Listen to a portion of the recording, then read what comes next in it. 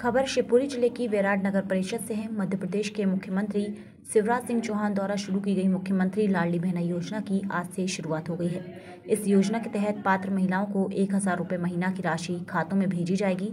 वैराट में नगर परिषद अध्यक्ष मालती लक्ष्मण सिंह रावत और सीएमओ महेश चंद्र जाटव ने पात्र महिलाओं के फॉर्म भराकर योजना की शुरुआत की। सीएमओ महेश जाटव ने बताया कि महिलाओं को किसी भी तरह की परेशानी न उठानी पड़े। इसके लिए हर वार्ड में शिविर लगाए जाएँगे। जब ये फॉर्म भरने की प्रक्रिया पूरी हो जाएगी इसके बाद इन सभी आवेदनों की जाँच मई तक पूरी कर ली जाएगी।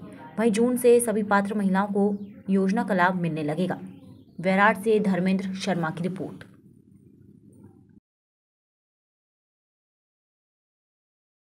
आज नगर पालिका में शिविर लगाया गया है। क्या कुछ योजना है सर और क्या कुछ तैयारी है नगर पालिका की लाडली बहना योजना अंतर्गत जो आवेदन है पच्चीस मार्च से तीस अप्रैल के बीच में लिए जाना है इसको है।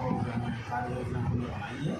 कार्य योजना के अंतर्गत पचास फार्म प्रतिदिन के मान से हमने शिविर लगाए हैं। प्रत्येक वार्ड में शिविर लगाया जाएगा।